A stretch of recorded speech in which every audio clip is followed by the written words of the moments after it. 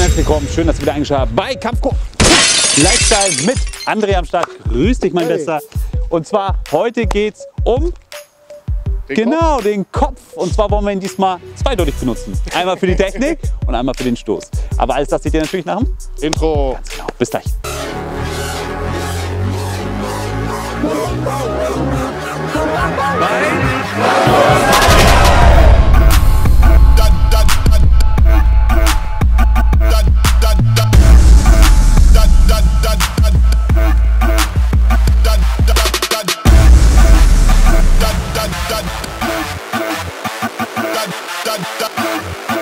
Er macht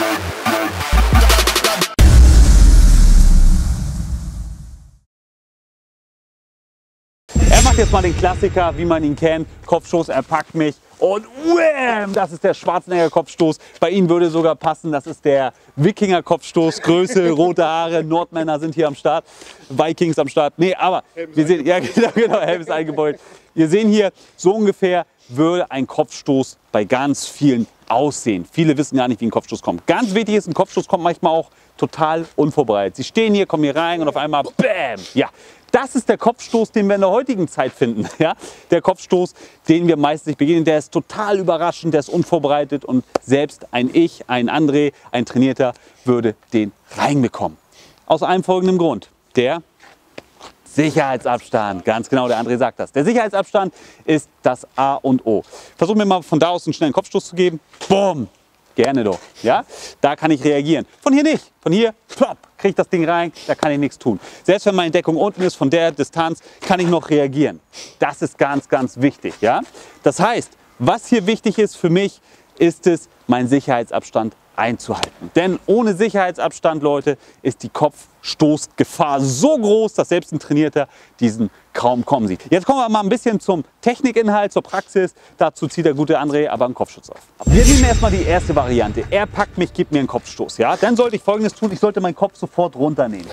Das ist natürlich trotzdem prallen unsere beiden Köpfe aufeinander, ja. Aber im meisten Fall trifft seine Nase oder seine Weichteile im Gesicht meinen harten Stirnknochen. Das heißt, bei ihm geht einiges kaputt, bei mir nicht. Aber wie schon gesagt, es ist verdammt schwer zu sehen, wenn er mich auf einmal packt, wupp, gehe ich runter. Ja? Als zweite Option sollte ich, wenn ich die Zeit habe, wenn ich es mir antrainiert habe, immer einen Arm überlegen. Er packt mich, Instinkt sollte Arm drüber sein. Da seht ihr schon, was passiert. Mein Ellbogen verhindert den Kopfstoß. Das ist ganz wichtig. Aber es geht halt nicht immer so schnell. Deswegen, erste Regel, Kopf runter. Kopf runter. Zweite Regel, Arm rüber. Ja? Also, Kopf runter, Arm rüber in der nahen Geschichte. Dadurch haut er sich den Kopf selber entweder an der Stirn auf oder, wenn ihr schnell genug seid, an dem Ellbogen. Folgetechniken könnt ihr dann natürlich ganz normal erarbeiten. Ihr geht runter, wupp, könnt ihr, wupp, geht rein, könnt direkt aber wumm und raus. Ihr wisst Bescheid, SWS kennt ihr alle schon. So, zweite Regel. Er ist vom Weiten und versucht einen Kopfstoß. So, das wird in der Regel nicht funktionieren. Ja? Was ich hierbei mache, wenn er einen Kopfstoß macht, ist tatsächlich meine Führhand benutzen, aber nicht wie es jetzt hier gerade tue, zum Abstoppen des Kopfes. Ja? Ähm, bei ihm funktioniert es leider nicht, ihn hier zu halten und er schlägt und trifft nicht. Er trifft, er hat eine verdammt lange Reichweite. Sondern was ich hiermit symbolisiere, ist eigentlich mein Fingerstich zu den Augen. Er macht einen Kopfstoß, gehe ich eigentlich zu den Augen. Direkt. Ja? Das heißt für mich, ich kann sofort reagieren. Ja, ihr seht auch unsere Distanz. Wenn man mit Kopfstoß kommt man an mich ran. Ihr seht, ich behalte meine Distanz bei. Mein Sicherheitsabstand bleibt die ganze Zeit derselbe. Nur, dass mein Finger quasi meine Linie ersetzt. Kopfstoß kommt, fupp, ja, ich gehe raus. Das ist meine Linie. Auch schön mit dem Handballen auf die Nase hier zu ditchen. Auch sehr, sehr mies, weil Tränendrüsen bilden Wasser in den Augen, also Tränen in den Augen. Visuell ist er eingeschränkt. Das heißt für mich quasi, er kommt, bumm, das kriegt er gar nicht mehr großartig mit. Was auch immer gut ist, was ich raten kann, jetzt mal quasi von der Basic zurück, bisschen in die fortgeschrittene, ist, geht in den One-Fiddle-Turn. Kopfnuss kommt, fupp, seht ihr schon, ich bin hier raus, kann hier arbeiten. Das ist etwas, was ich eigentlich am meisten empfehlen würde, als nur zurückzugehen. Aber für den Anfänger ist es erstmal sehr schwer, überhaupt einen One-Fiddle-Turn, dennoch noch rechtzeitig zu setzen, Unterleibtritt. Deswegen bauen wir das hier strukturiert ganz langsam auf. Also Kopfstoß kommt vom Weiten, fupp, am besten ihr geht raus, Augenstich, setzt einen nach. Hier habt ihr ein perfekteres Ziel zum Unterleib, könnt der Gefahr einfach entweichen. Ja? Viel mehr wollen wir hier erstmal gar nicht erklären. Natürlich gibt es auch noch Kopfstöße in Clinch-Situationen, wie ich zum Beispiel hier reinkomme oder aber auch ich schiebe ihn nach oben, komme dann hoch. Ja, all diese Möglichkeiten haben wir. Es gibt Kopfstöße mit dem Beinwinkel, wo ich hier anfange hier zu stößen, komme hier durch, all sowas auch. Aber das ist alles sehr, sehr technisch basiert.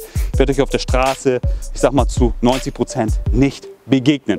Da sind es die Klassiker, die wir eben beide hier schön vorgestellt haben. Schön, der Kne die Kneipenkopfnuss. Die Kneipenkopfnuss, genau, der Bauernkopf.